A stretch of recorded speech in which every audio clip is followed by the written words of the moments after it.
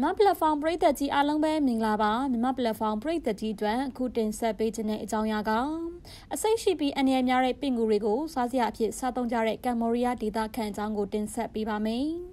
ပင်ကူတွေကိုကြောက်တတ်တဲ့သူဆိုရင်တော့ဒီနေရာကရှောင်သိတဲ့နေရာတစ်ခုပါကမ်မောရီးယားနိုင်ငံစခွန်မြို့ဟာခြေရှိချောင်းရှိတဲ့ပင်ကူတွေကိုစားသုံးတတ်ကြလို့ပင်ကူကြောက်တတ်တဲ့သူတွေအတွက်တော့တကယ်ကြောက်လန့်စရာနေရာတစ်ခုပါပဲ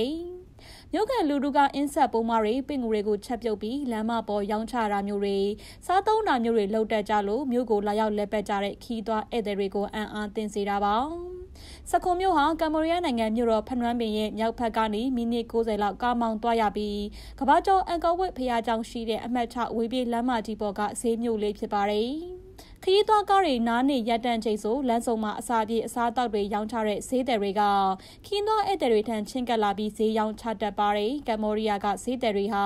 သူတို့ရဲ့ဈေးပန်းတွေကအကျော်တွေအသီးအနှံတွေအခွန်မာသီးတွေကိုရောင်းချရမယ့်အစားကြော်လော်ထားတဲ့အင်ဆက်ကောင်းတွေရေပိုးမှတွေနဲ့ပရစ်တွေလက်တဖွားအရွယ်ရှိတဲ့ပိုးကောင်းတွေအပြင်ထိတ်လန့်စရာပင့်ကူကောင်းတွေကိုလည်းရောင်းချတယ်လို့သိရပါတယ်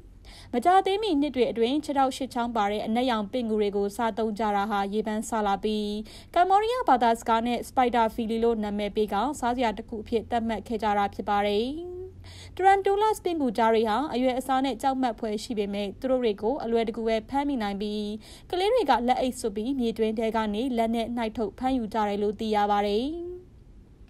အကြောင်းစင်းတွေပါတဲ့ပင်ကူတွေဟာအစိတ်ရှိပြီးလူကိုမသေးစေနိုင်တော့လဲပဲကိုက်ခံရရင်နာကျင်တာကြောင့်ဈေးရက်ကိုမပုတ်မီအဆွဲတွေကိုအရင်ဖယ်ရှားပြကြပါတယ်အင်းဆက်ပိုးမတွေရောင်းချတဲ့ဈေးတယ်တွေက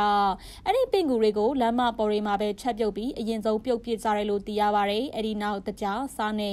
ထောင်းထားတဲ့ကြက်သွန်ဆန်မုံတို့နဲ့ရောနှောပြီးဟင်းသီးဟင်းရွက်စီဒါမှမဟုတ်မြေပဲစီနဲ့ကြောကပီကူကြောအဖြစ်ရောင်းချကြတာဖြစ်ပါတယ် ခြေထောက်တွေမှာတော့အသားနှဲငယ်ပါပြီးကျွတ်ကျွတ်ရွရွနဲ့အငံနဲ့အချိုတက်ပါတဲ့ပင့်ငူကြော်တွေကစားကောင်းတယ်လို့သိရပါတယ်။ကျွန်တော်ပင့်ငူတွေကိုကြိုက်ပေမဲ့ကမ်မောရီးယားလူမျိုးတွေအတွက်ဈေးကြီးတာကြောင့်နေတိုင်းမစားနိုင်ပါဘူးလို့ဆိုင်ရဲ့အကူအမျိုးသားတို့ကပြောပြခဲ့ပါတယ်။ကြက်သားကြော်စားရတယ်လို့အရသာမျိုးရှိပြီးကျွတ်ကျွတ်ရွရွပင့်ငူကြော်တွေကိုခောက်ဆွဲတာမှမဟုတ်ထမင်းပေါ်တွေမှာတင်ပြီးဟင်းသီးဟင်းရွက်တွေနဲ့အတူစားသုံးတယ်လို့သိရပါတယ်။ တရန်တူလတ်စပင်ငူကြားတွေကိုခါနာခြင်းနဲ့အသက်ရှူလမ်းကြောင်းဆိုင်ရာယောဂတွေကုသဖို့အတွက်ရိုးရာဆေးပညာမှာလွန်ခဲ့တဲ့ရာစုနှစ်ကလေးကအသုံးပြုခဲ့ကြတာဖြစ်တယ်လို့သိရပါတယ်။ဘာကြောင့်စခိုမျိုးကလူတွေကဒီလိုပင်ငူကြော်တွေစတင်စားသုံးခဲ့တယ်လဲဆိုတဲ့အကြောင်းကိုဘယ်သူမှတိတိကျကျမသိနိုင်တော့လဲပဲ1980ပြည့်နှစ်လွန်နှစ်တွေအတွင်းကွန်မြူနတီအစိုးရကြောင့်ကမ်ဘောဒီးယားမှာအငတ်ပေးကြောက်ရောက်စေခဲ့ရာကနေစတင်ခဲ့တယ်လို့ယုံကြည်ရပါတယ်။အစားအစာရှားပါမှုကိုကြုံတွေ့ရတဲ့တောင်သူလက်သမားတွေကအင်းဆက်ပိုးမွားကောင်တွေကိုစတင်စားသုံးခဲ့ရာကနေအစပြုတယ်လို့သိရပါတယ်။